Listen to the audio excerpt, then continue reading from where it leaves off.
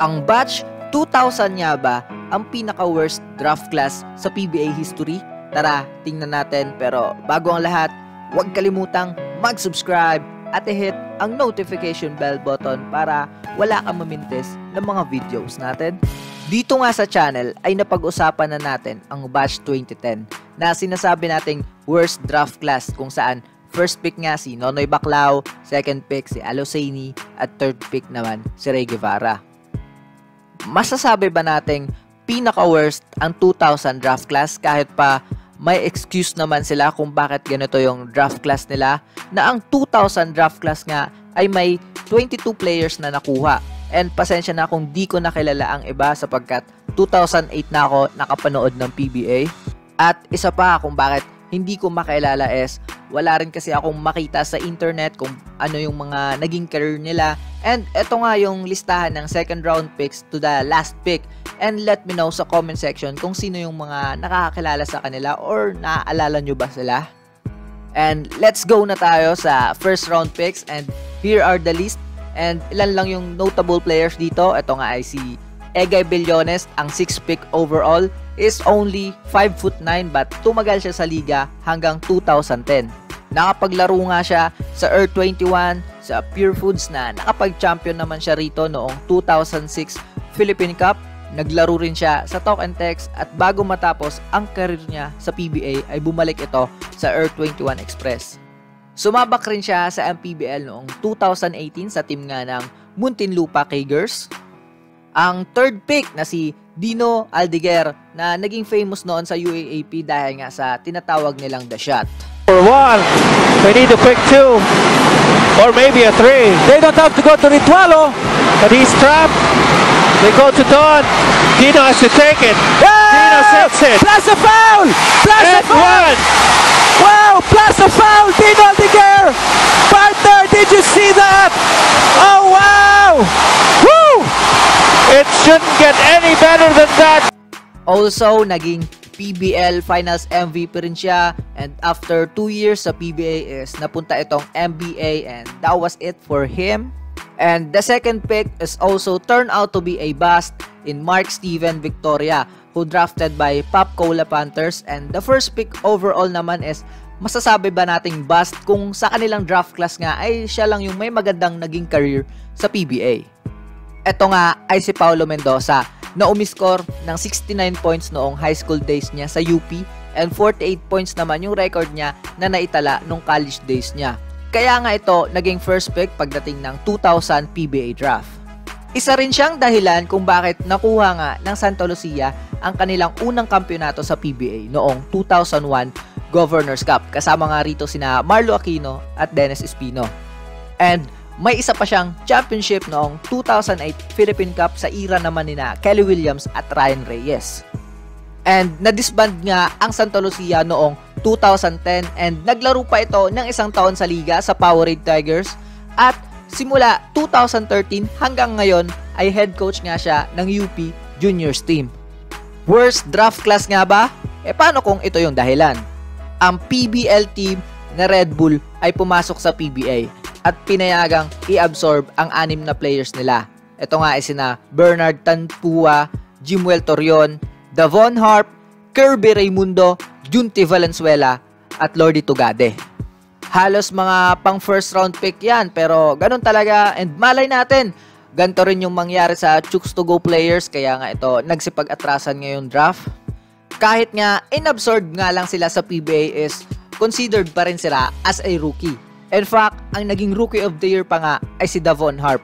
And also, he is a two-time mythical team member, one-time Defensive Player of the Year, one-time BBC, two-time Finals MVP.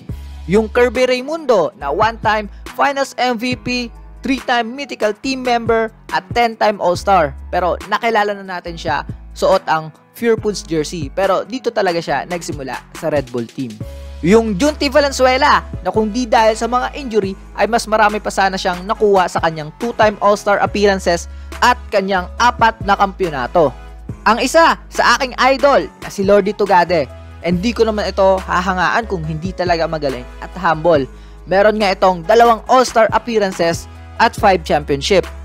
And Meron pang isang dahilan kung bakit nga ganun ang listahan ng 2000 draft class. Kasi nung time nga na to, merong direct hiring na imbisa na i-apply sa PBA draft is kukunin nila kapag alam nilang malakas. Ganun rin kasi yung mga nababasa ko sa forum na if they have money, sila lang yung makakapag-direct hire. Like itong una nating direct hire na si JJ Helterbrand. Pinaglaro nga lang siya ng isang game sa NBA tapos okay na, nasa Hinebra na siya. And what if pumasok siya sa PBA draft?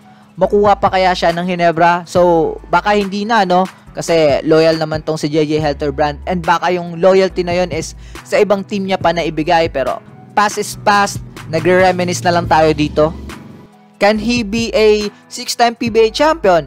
one-time Finals MVP, two-time BBC, two-time Mythical Team Member, six-time PBA All-Star, at ang ating 2009 PBA MVP. And destiny na rin siguro kay JJ Helterbrand ang Hinebra. And syempre, swerte ng barangay sa kanya, ba? Diba? Isa pang direct hire ay si Rob Wainwright by the Santa Lucia. After nga ng stint niya sa NBA sa Cebu Gems ay sinay na rin siya pero pagdating sa liga is, paiba-iba rin ng PBA team si Rob Wainwright. Isa pang fresh sa NBA stint niya ay si Dorian Peña na nakilala na natin suot ang San Miguel Beermen uniform na may dalawang All-Star appearances at 3-time mythical team selection. And galing naman sa Australian League or NBL ay si Mick Pinisi na sinay niya ng Red Bull. Isa nga sa mga iconic player sa liga dahil nga sa kanyang late reaction moment pero siya ay isang 4-time PBA champion at 2-time PBA All-Star. At ang pinaka-idol ko sa lahat, the one and only Dondon Hontiveros.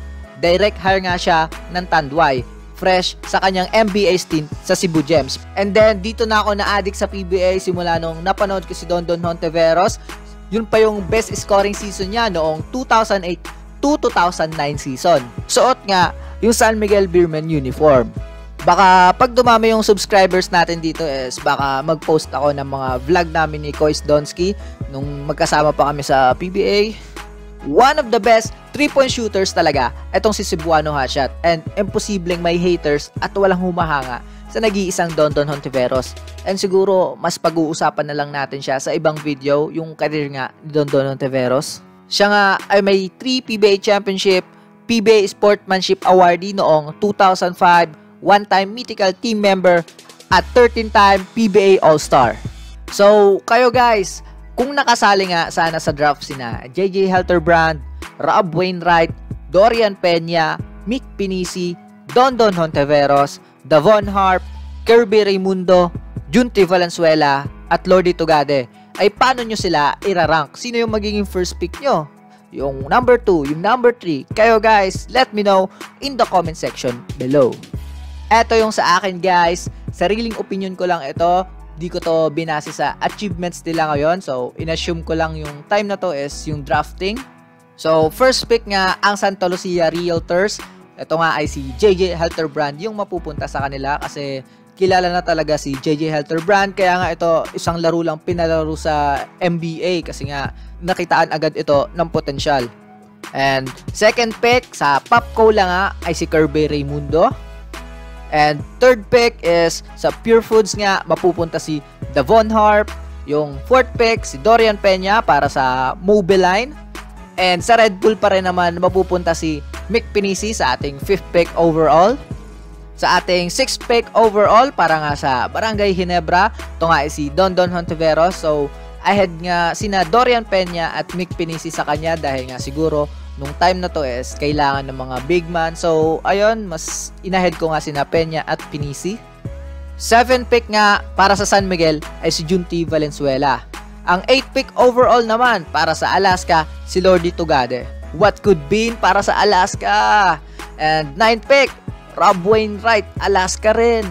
And sa ating last pick or sa ating 10 pick overall ay sa Santa Lucia pa rin tutug pa si Paulo Mendoza kung pagbabasihan nga natin, yung mga nag-apply lang sa 2000 PBA draft is one of the worst talaga yon. Pero overall, as a 2000 rookie class, kasama yung mga direct hire is one of the best talaga to.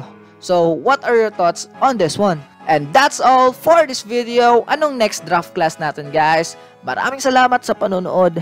Bye-bye.